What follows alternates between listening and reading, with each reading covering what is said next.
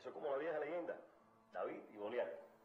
Nosotros somos como David, chiquiticos, pero nos vamos a defender. Bien, ¿te incorporas?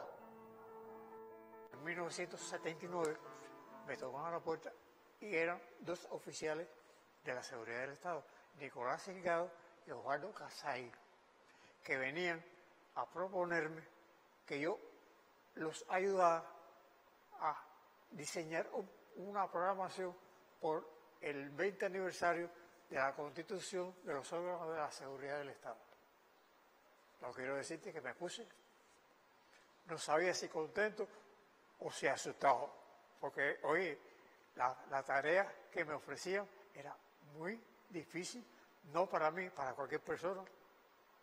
Se trataba de estimular justamente a estos hombres que en 20 años habían trabajado con todo tesoro y el pueblo tenía que conocer eso. ¿Y tu jefe?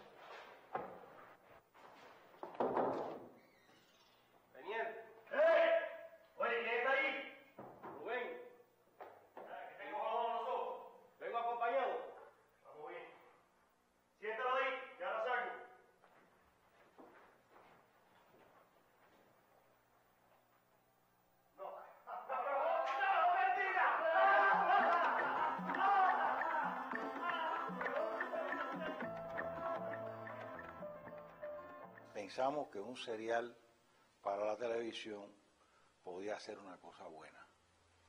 Ahí tuvimos, en primer lugar, eh, dos escritores maravillosos, dos guionistas, Nilda Rodríguez y Abelardo Vidal. Y después tuvimos la dirección de Chucho Cabrera. Es decir, ahí empezó ese proceso a caminar. Mira, en silencio trabajaron todos los principales actores actrices, músicos de Cuba. Es decir, la, la música la, la compu- la compusieron los hermanos Gutiérrez.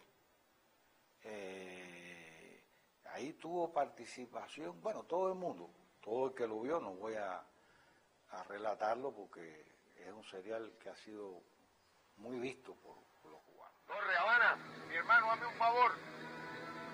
Coge lápiz y papel y apunta el teléfono que te voy a dar. Ahí me llamas a Reinier. Reinier. Le dices que en esta avioneta que ahorita va a aterrizar, te llega un hermano que viene de lejos, que por fin pudo llegar. Le dices que ese hermano, que soy yo, se llama David. Para mí fue grande poder trabajar no solamente con los actores inmensos que había ahí, sino trabajar con los compañeros que asesoraban el programa. Eran asesores de una experiencia tremenda, que nos decían cómo eran los personajes en carne y hueso. Con silencio ha tenido que ser pasó algo, que era un programa donde se mostraba el trabajo de nuestros hombres en el extranjero con el enemigo, luchando dentro de las organizaciones contrarrevolucionarias, trabajando dentro de la gente que quería destruir a Cuba.